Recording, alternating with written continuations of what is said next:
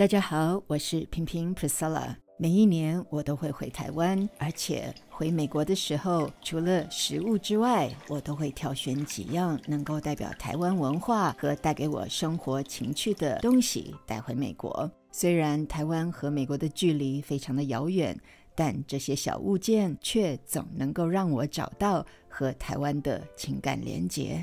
除了一个充满古早味的食物罩子，英哥买的小水盆、灯饰、画作，还有这双顿时让我高了两寸的台湾布鞋，都让我知道，无论我身在何处，这些象征台湾的物品，让我在美国的生活处处还是散发着台湾熟悉的生活味道。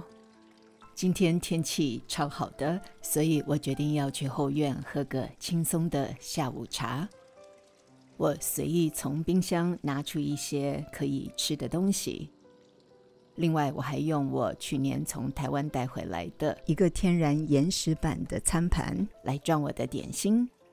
在盘上，我装了各式的美味 cheese、切片的李子、草莓、葡萄、意式橄榄、饼干，还有台湾的小麻薯。现在有了这个我在英歌买的手工古早味食物罩之后，让我在后院享受下午茶的时候多了一层保护，不仅可以阻挡蚊虫，也象征了台湾手工艺品的精美和实用性呢。在明媚灿烂的阳光之下。我坐在后院，享受着来自台湾的文化和美食的结合，它让我仿佛短暂的回到那片熟悉的土地一样，充满了愉悦和熟悉感。你是否也在忙碌的生活当中，也曾静下心来想过，什么是你生活里面最大的生活情趣呢？我想，大多数人都是喜欢吃，而且很喜欢享受美食的。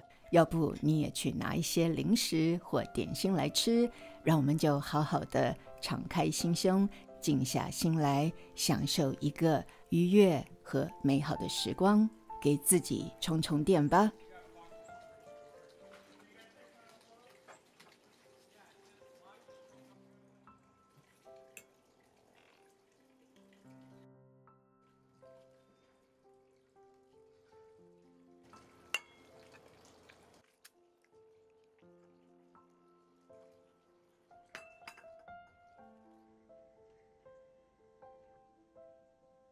希望你喜欢我的视频，别忘了点赞、留言、订阅我的频道，并开启小铃铛。感谢您，我们下回见。